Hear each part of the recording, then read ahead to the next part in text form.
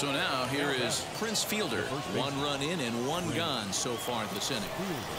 First pitch on its way.